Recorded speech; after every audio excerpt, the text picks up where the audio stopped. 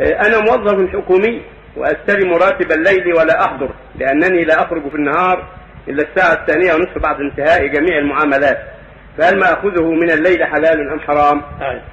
آه، أنا موظف حكومي وأستلم راتب الليل ولا أحضر لأنني لا أخرج في النهار إلا الساعة الثانية والنصف بعد انتهاء جميع المعاملات فهل ما أخذه من الليل حلال؟ الذي يظهر ليس بحلال. ما دام لا تحضر فلا ينبغي ان أن تأخذ إذا كنت تعمل. إذا كان ما نعمل تخبرهم اني ما اعمل ولا أريد هذا الشيء. نعم.